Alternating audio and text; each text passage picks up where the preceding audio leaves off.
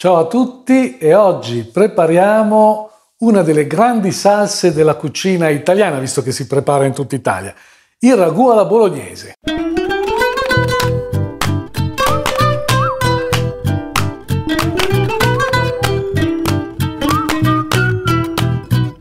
Il ragù alla bolognese, anche per distinguerlo da altri ragù, pensate per esempio a ragù napoletano. Tra l'altro, del ragù alla bolognese c'è la ricetta che è depositata alla Camera di Commercio, fu fatto nel 1982. Eh, la, questa ricetta differisce leggermente da quella, ma insomma è abbastanza fedele. Quando si guarda un ragù sembrano un po' tutti uguali. In realtà la vera differenza sta nel sapore. Bisogna riuscire a estrarre bene il sapore dalle carni e dalle verdure. Il primo errore che cercheremo di evitare è di mettere insieme da subito le carni e le verdure. Normalmente si fa prima il soffritto e poi si aggiunge la carne e questo impedisce alla carne di rosolare bene. Quindi faremo rosolare la carne separatamente e poi ci aggiungeremo delle verdure che sono già state rosolate.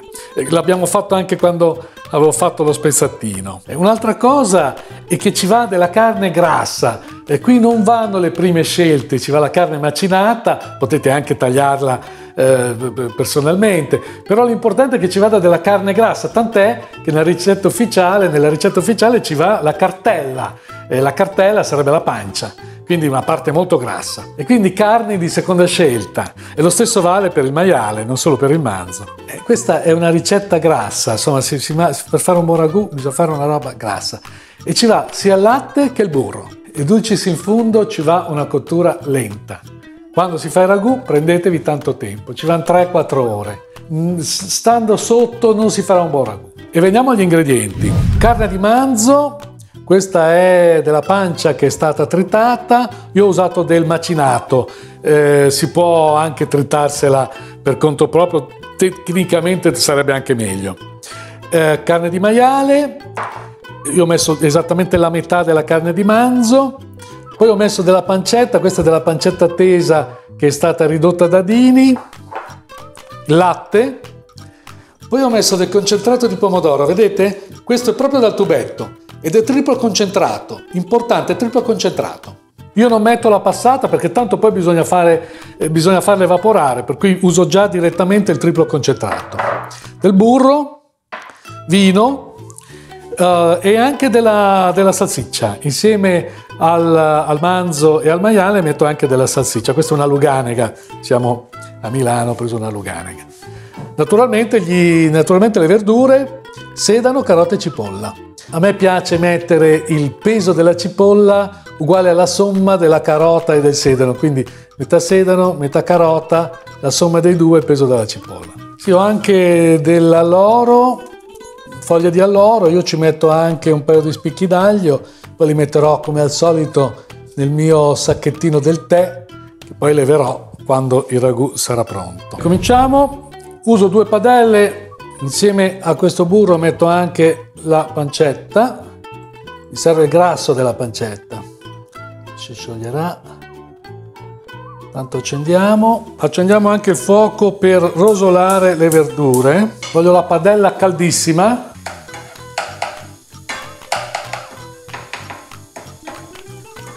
Burro sfrigola. Prima cosa mettiamo la carota che è un pochino più duretta. Voglio che si scotti per davvero deve veramente soffriggere. Qui non deve solo stufare stuferà dopo. Adesso deve soffriggere deve prendere una bella botta deve fare la reazione di Maillard anche la verdura.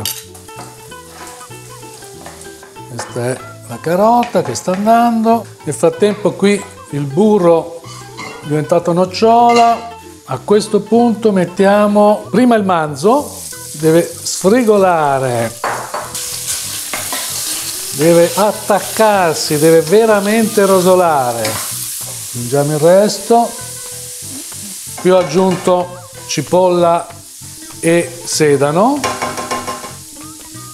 sempre a fuoco alto.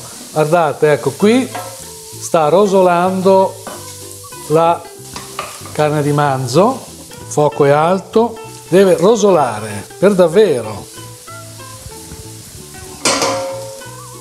Anche qui facciamo, deve prendere una bella botta di calore. Le verdure le facciamo andare a fuoco alto ancora un paio di minuti, si devono scottare e poi a, a questo punto abbasserò il fuoco e le facciamo stufare. Deve andare ancora, perdere l'acqua. A questo punto posso aggiungere la carne di maiale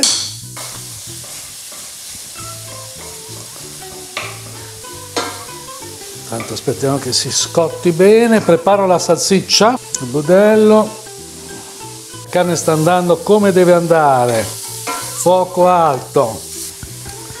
Ecco qui la salsiccia, sgraniamola un po'.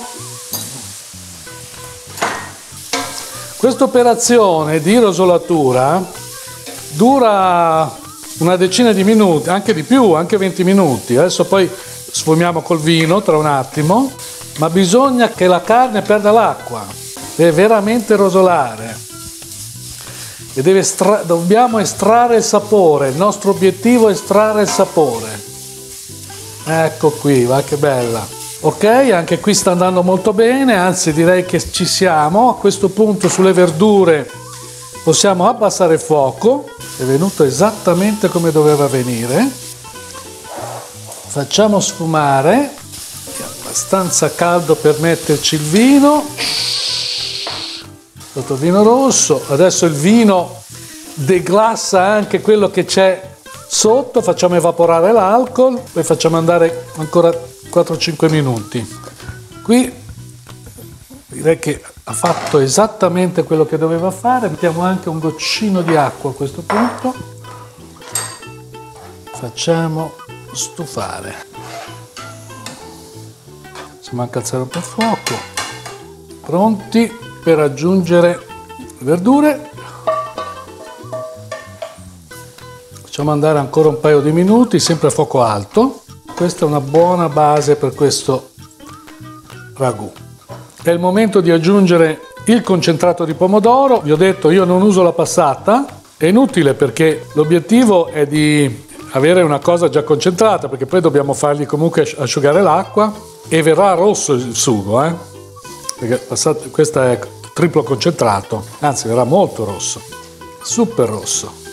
Ora sì, vedete, bello asciutto, molto asciutto, ora possiamo abbassare il fuoco. A questo punto aggiungiamo del latte. Dunque il latte non va aggiunto tutto in una volta, facciamo un pochino alla volta. Facciamo bene assorbire, ecco, solo quando ha ripreso il colore, aggiungiamo un altro po'.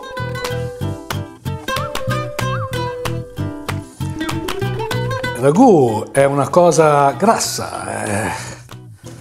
Si potrebbe mettere anche dell'acqua, però anche del brodo, ma non è la stessa cosa. Sono sicuro che esistono modi più gourmet di farlo, ma a casa mia si fa così. Perché poi il ragù lo possiamo usare per un sacco di cose, lo possiamo usare per la lasagna, lo possiamo usare per le tagliatelle, per le pappardelle, lo possiamo usare ah, per fare la pasta al forno con i rigatoni o con i mezzi rigatoni o con i mezzi paccheri. Aggiungiamo ancora un po' di latte. Ora che è tutto amalgamato facciamo andare e da questo momento facciamo andare anche tre ore, almeno due ore, due ore e mezza almeno da questo momento. Mettiamo il fuoco al minimo, ecco, ci teniamo da parte del liquido che potrebbe essere del brono di carne, dell'acqua eh, o del brodo vegetale, un misto dei due. Potete fare come volete. Io ci metto dell'acqua se si dovesse asciugare troppo. Trasferisco nel fornello più piccolo perché adesso il ragù deve andare a fuoco minimo. Molto lento e lo facciamo andare da questo momento per due ore e mezzo, almeno. Ogni quarto d'ora vengo a controllare se si è asciugato troppo. Se si è asciugato troppo io aggiungo dell'acqua o del brodo. Mettiamo il sacchettino aromatico dove metto tre foglie di alloro e due spicchi d'aglio che ho schiacciato. Ecco qua. Lo chiudo.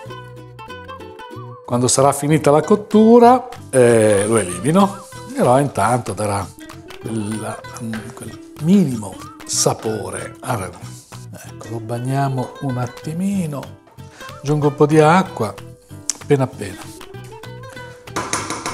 Copriamo, ma non ce lo dimentichiamo. Ogni 15 minuti veniamo a controllare che cosa sta succedendo. Passata circa un'ora, guardate che bello, eh? sta andando benissimo, ci metto almeno una metà. Ecco qui, direi che questo è sufficiente. Sì. Profumo, profumo, profumo. Mm. Bellissimo. Che sta andando bene, gli diamo un goccino di liquido. Lo assaggio un attimo per sicurezza.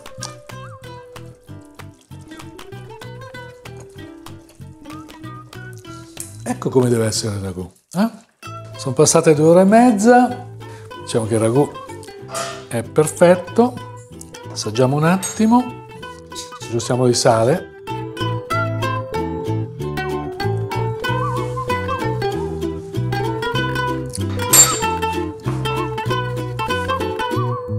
sale.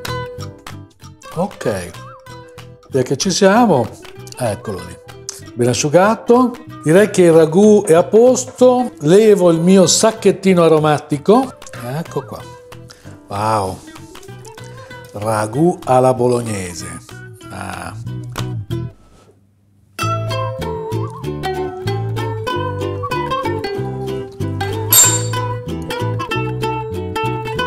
Iscrivetevi al canale e se il video vi è piaciuto mettete like e attivate la campanella per essere informati sui video in uscita. Ciao e alla prossima!